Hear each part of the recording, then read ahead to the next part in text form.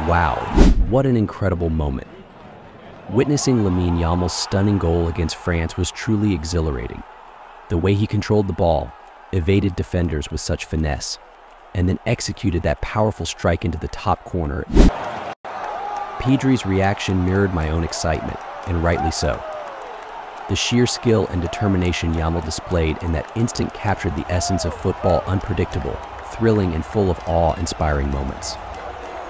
It's not just about the goal itself, but the journey leading up to it, the teamwork, the strategy, and the sheer grit of every player on the pitch. This goal will surely be etched into the annals of football history. It's a reminder of the beauty and excitement that football brings to fans worldwide. From the precision of Yamal's strike to the passion it ignited in spectators like Pedri and myself, this moment encapsulates the magic of the game.